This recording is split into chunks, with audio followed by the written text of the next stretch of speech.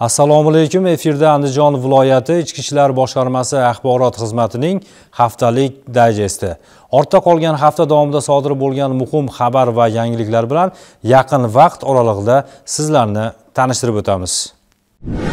Andijon viloyatida tashkil etilayotgan kiber madaniyatni yuksaltirish oyligi doirasida barcha shahar tumanlarda keng qamrovli targ'ibot tadbirlari o'tkazilmoqda. Oltinko'l tumanida tashkil etilgan tadbirlarda ham asosiy e'tibor kiber firibgarlik va ularning turli xil noqonuniy nayranglardan fuqarolarni jabrlanib qolishdan ehtiyotlash masalasiga qaratildi. Virtual firibgarliklardan ogoh bo'lishlarini targ'ibot va tashviqot qilishda yaqindan yordam berishlari zarurligi xususida ham atroflicha so'z yuritildi. Oltinko'l tumani ichki ishlar bo'limida davom etgan targ'ibot tadbirida xalq orasida eng ko'p fuqarolar bilan muloqotda bo'ladigan profilaktika inspektorlariga kiber jinoyatchilik va uning xavf xatarlaridan fuqarolarni doimiy ravishda ogohlikka chaqirish masalalari muhokama etildi. Kiber xavfsizlik mutaxassislari o'z bilim va tajribalari bilan o'rtoqlashdi.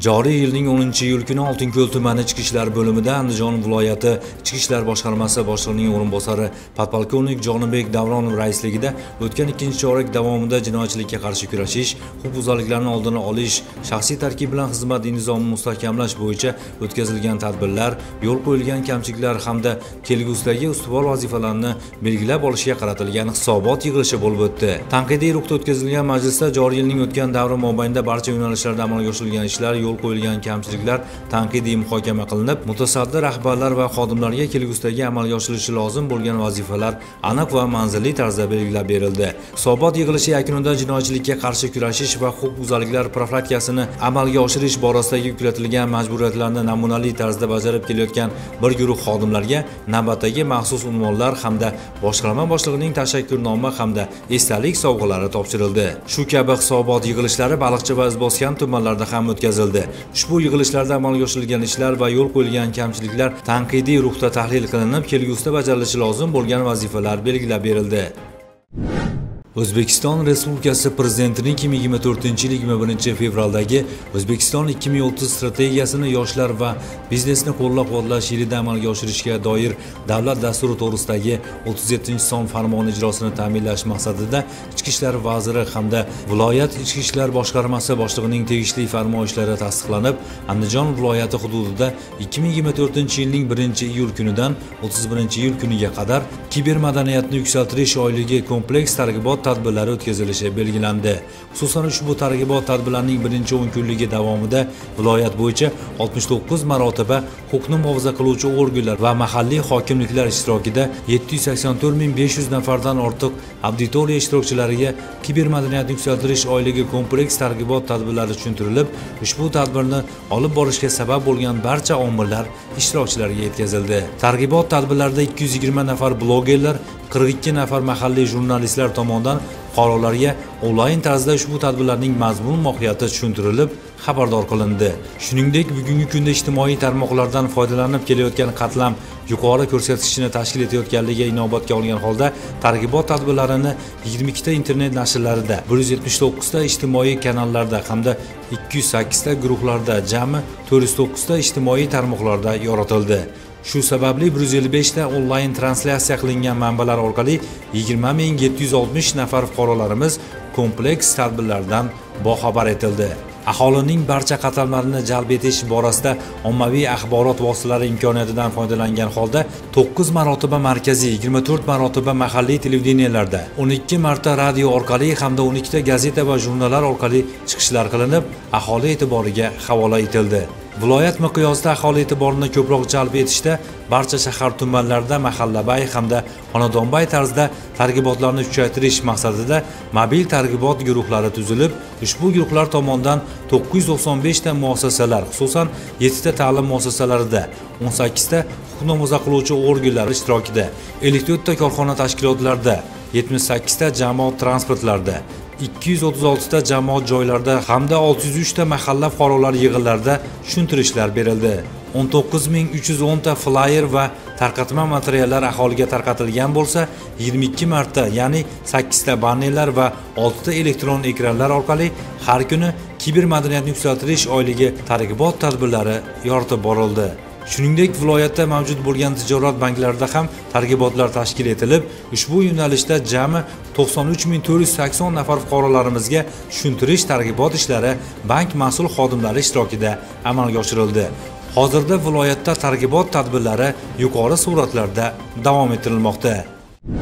Yosh xodimlarning sportga bo'lgan qiziqishlarini yanada oshirish ular o'rtasida sog'lom turmush tarzini keng targ'ib qilish hamda andijon viloyati ichki ishlar boshqarmasi boshlig'i tomonidan tasdiqlangan o'zbekiston respublikasi yoshlar ittifoqi andijon viloyati ichki ishlar boshqarmasi boshlang'ich tashkiloti tomonidan 2024 yilda amalga oshiriladigan chora tadbirlar dasturi ijrosini ta'minlash maqsadida yosh xodimlar o'rtasida sportning arm resling turi bo'yicha musobaqa o'tkazildi. Tashkil etilgan musobaqa natijasiga ko'ra yo'l harakati xavfsizligi boshqarmasi safdor xodimi hindol mirzo qosimov uchinchi o'rinda.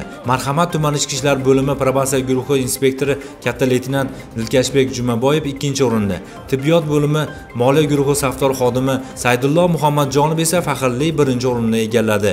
G'olib va sovrindor bo'lgan yosh xodimlar viloyat ichki ishlar boshqarmasi rahbariyati tomonidan diplom va qimmatbaho sovg'alar bilan taqdirlandilar.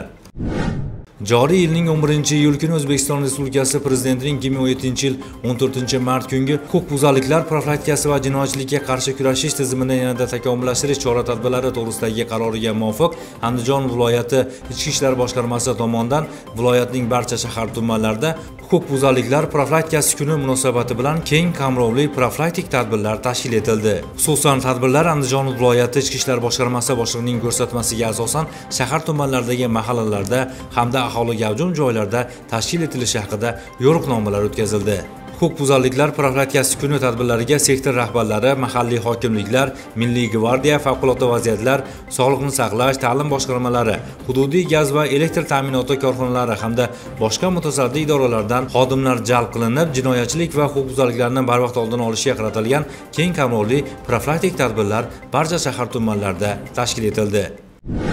Joriy yilning 11 iyul kuni andijon viloyati ichki ishlar boshqarmasi boshlig'ining o'rinbosari podpolkovnik ilhom fayzullayev raisligida qo'rg'ontepa tuman ichki ishlar bo'limida 2024 yilning o'tgan 6 oy davomida tuman hududida jinoyatchilik va huquqbuzarliklarni oldini olish borasida amalga oshirilgan ishlar yo'l qo'yilgan xato va kamchiliklar hamda kelgusidagi ustuvor vazifalar muhokamasiga bag'ishlangan hisobot yig'ilishi bo'lib o'tdi. Yig'ilishda tuman hududida huquqbuzarlik va jinoyatchilikning barvaqt oldini olish kriminagen vaziyati og'ir bo'lgan hudud hududlar.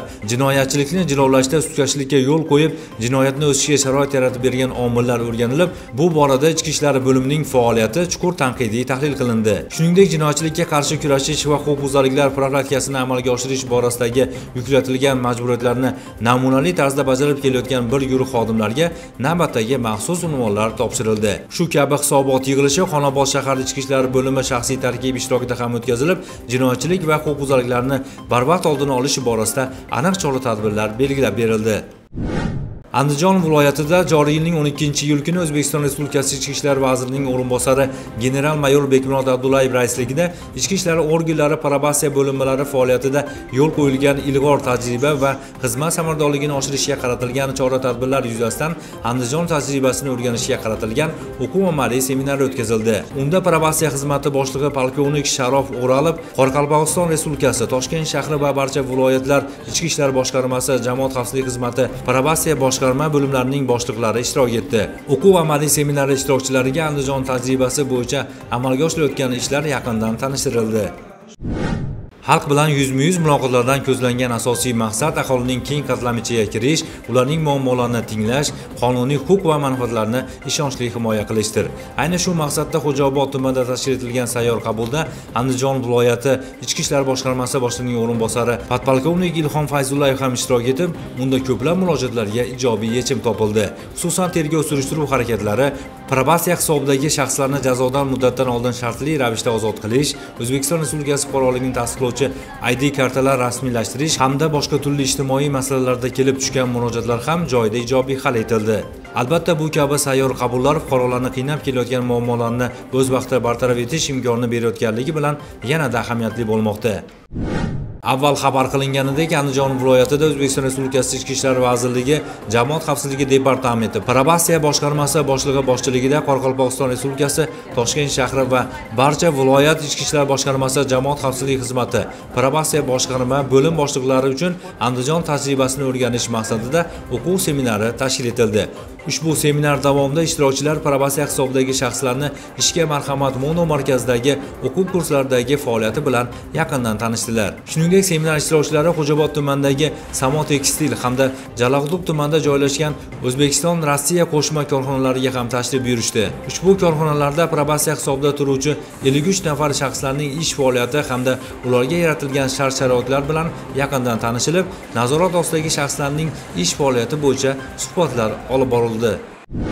Andijon viloyati ichki ishlar boshqarmasi apparati shaxsiy tarkibi uchun bo'lib o'tgan bu galgi ma'naviyat va ma'rifat darsi avvalida ham davlatimiz madhiyasi yangradi.